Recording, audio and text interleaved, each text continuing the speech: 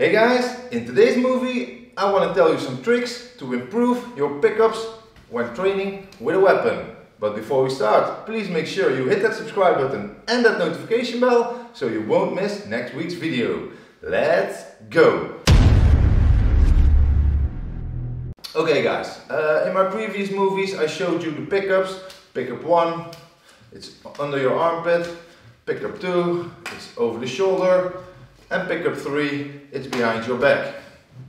These are the three basic pickups in Doce Pares Eskrima. So, if you want to freestyle these pickups, uh, you have a few motions which make it look way better and it, it looks like you really have a great control of your weapon um, by only adding this motion.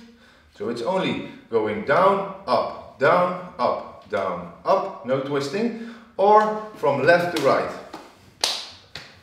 These motions are a great way to chain your pickups and to really make them look badass. So if I'm going from pickup one,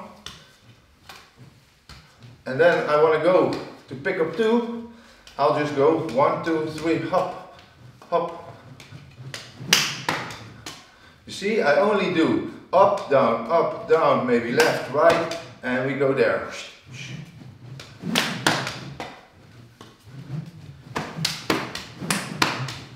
You see this motion? Really, of course your arcos, but we go one, two, one, two, now we go one, two. Here we go. You see, it's just a down, up, left, right, down. And that way you can really improve the speed in your pickups. I'll go fast now.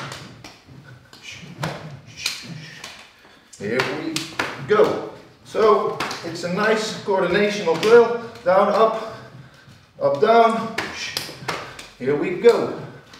Alright guys, so to chain your pickups one, two and three, just start adding the up and down motion and the left to right. It aren't real hits, it's just for speed. I hope you enjoyed these tips. If you did, please leave a thumbs up. Add something in the comments. It's always fun to get response from our viewers. And I hope to see you next week. Peace.